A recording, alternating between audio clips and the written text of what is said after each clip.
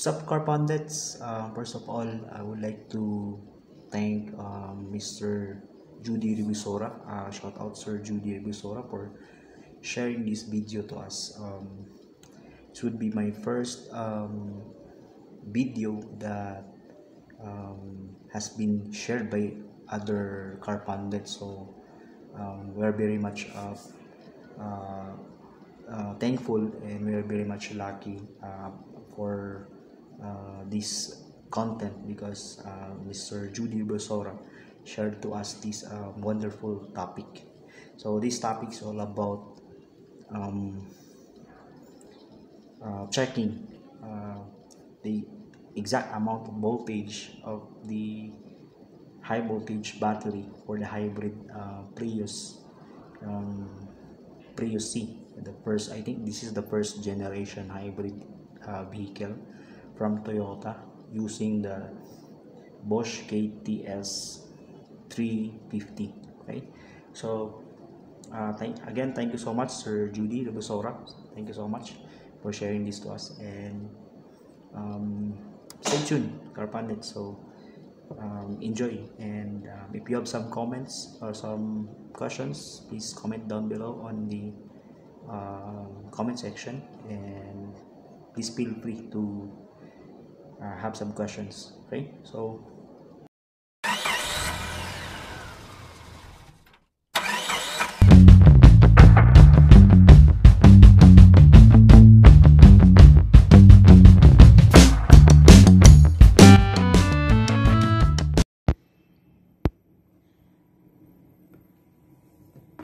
Okay, now we are going to uh, check the amount of uh, present amount of voltage of the high voltage battery uh, using the scantol. So we connected here the DLC connected the DLC to the scantol. Then make sure the ignition switch must be on. So it's on already.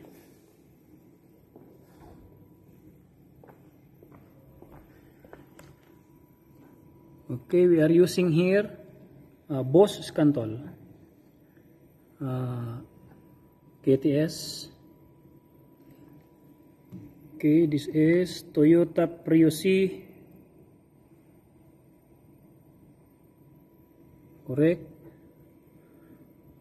Okay we will measure now or we are going to check the amount or the present amount of uh, voltage per block of the high voltage battery. This is composed of 10 blocks but we will try to check.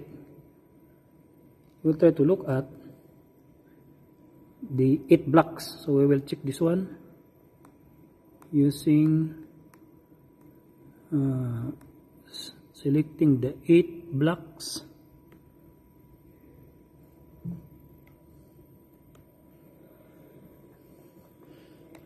So the amount of volts now voltage now is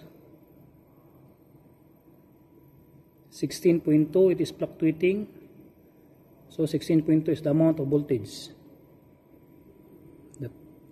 present amount of voltage per block. And this block composed of 2 modules. Supposed to be this one is 14.4 uh, because the block consists of 2 modules 7.2 volts. So times 2 the nominal voltage is 7.2 volts times 2, it should be 14.4. But you notice this one is greater than 14.4 because it is being charged already uh, by the engine. It's charged already by the MG1 through the engine.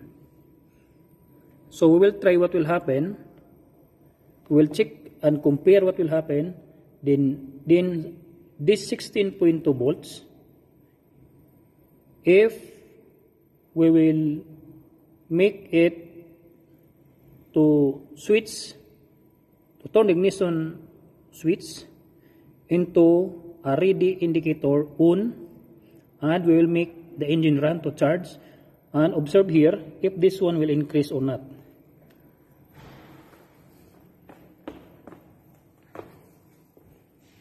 So we will on the ready indicator.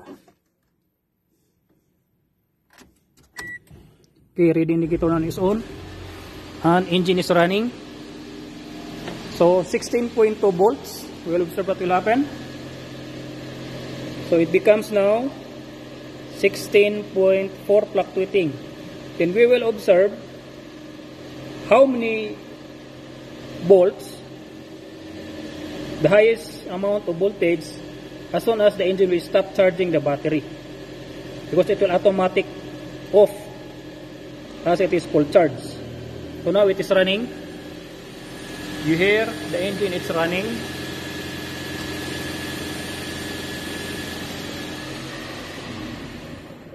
Okay shut off at 16.9 so 16.9 mean to say our battery now is full charge